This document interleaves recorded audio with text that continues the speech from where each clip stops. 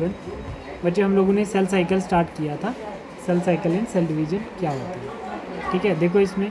हमने बोला था कि the growth of the reproduction of all organism depend on the division and enlargement of cell ठीक है, वो हमारा सेल साइकिल कहलाता है। The mechanism of division and multiplication of cell together constitute the cell reproduction ठीक है DNA का divide होना सेल का डिवाइड होना, एक ग्रोथ का जो कैरेक्टर है ना, वो सेल डिवीज़न होता है।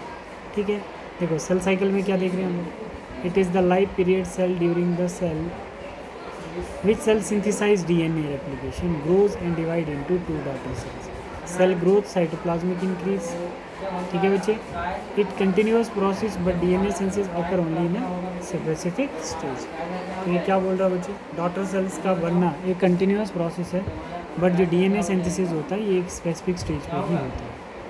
During the cell cycle during the cell cycle varies in each organisms and each cell type that is duration of a typical eukaryotic cell cycle that is human cell about 24 hours in yeast as it's it is 90 minutes ठीक है एक life span जो cell cycle का होता है वो complete कितने time पे होता है 24 आवर्स में होता है और ईस्ट में क्या होता है 90 मिनट्स में होता है ठीक है बच्चे तो ये हमारे पास सेल साइकिल की डायग्राम आती है ठीक है बच्चे अब इसमें हम लोग क्या देखते हैं? इसमें क्या है बच्चे? ये हमारे पास जी वन फ़ेज़ आता है ये हमारे पास जी टू फ़ेज़ आता है, और ये हमारे पास एस फ़ेज़ आता है, ठीक है? और इसको हम लोग माइटोटिक फ़ेज़ कहते हैं जी वन के बाद जी नॉट फ़ेज़ होता है, ठीक है? Interphase mean resting phase It is the phase between two successive entries. It include growth and DNA synthesis. S phase में क्या क्या हो रहा है बच्चे? ग्रोथ हो रही है डीएनए सिंथेसिस हो रहा है। It last more than 95 percent of the duration cell cycle interphase has three phases ठीक है? वो कैसे कैसे होगा बच्चे? जैसे gap one phase gap one or anti phase first growth phase it is the interval between mitosis and DNA replication main events क्या continuous growth of cell cell become metabolically active prepare machinery for DNA replication ठीक है बच्चे? तो B में देखो synthetic phase में क्या होता है। In this DNA replication take place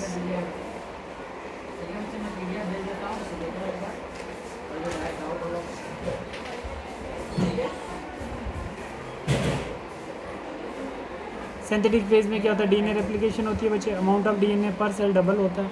But chromosomes number not increase ये मैंने बहुत अच्छे से आपकी क्लास में बताया है। In animal cells replication begin in the nucleus and centriole duplicate into the cytoplasm ठीक है? वहाँ पर सेंट्रियोजोम की फॉर्मेशन होना ठीक। जैसे जी टू फ़ेज़ जिसको हम लोग क्या बोलते हैं? गैप टू फ़ेज़ कहते हैं। ये आ जाता हमारा गैप टू फ़ेज़ ये क्या था? गैप वन फ़ेज़ ये क्या है? सिंथेटिक फ़ेज़ तो मतलब जी वन फ़ेज़ क्या होता है? प्री सिंथेटिक फ़ेज़ भी बोल सकते हैं पोस्ट सिंथेटिक फ़ेज़ भी बोल सकते हैं। तो जी टू फ़ेज़ का गैप टू गैप टू भी बोलते हैं जी टू फ़ेज़ को। Second growth phase the cell growth continuous synthesis of R N and proteins ठीक है? Cell is prepared for mitosis cell क्या करता है बच्चे? जी टू फ़ेज़ में प्रिपेयर करता है अपने आप को माइटोसिस में एंटर करने के लिए एम फ़ेज़ में एंटर करने के लिए। एम फ़ेज़ क्या है mitotic phase it represent the actual cell division which is mitosis in human cell cycle at least only about an R M phase include karyokinesis nuclear divisions cytokinesis cytoplasmic divisions ठीक है बच्चे?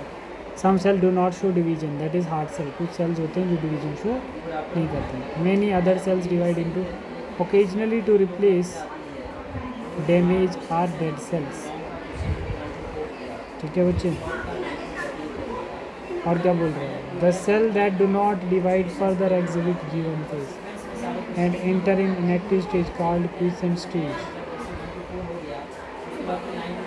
such cell remain metabolically active but do not proliferates metabolically active होते हैं but ये proliferate नहीं कर सकते। ठीक है बच्चे? तो ये आपका बेसिक एक इंपॉर्टेंट वीडियो है ठीक है इसमें आप लोग बहुत सारी चीज़ें अपनी अपनी नोटबुक पे लिखेंगे जिन बच्चों को लगता है कि दिख नहीं रहा उनके लिए मैं हटा दे रहा हूँ ठीक है बच्चे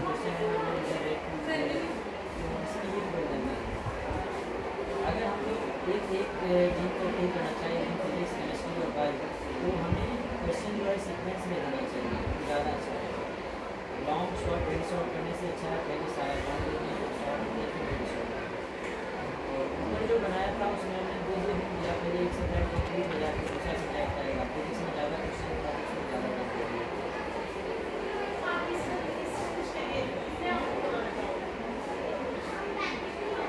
ठीक है बच्चे, यहाँ तक आप करके आओगे तो ये क्या है आपका?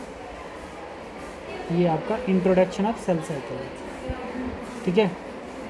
तो नेक्स्ट हम लोग देखेंगे माइटोसिस माइटोसिस क्या होता है? नेक्स्ट वीडियो में डिस्कस करेंगे।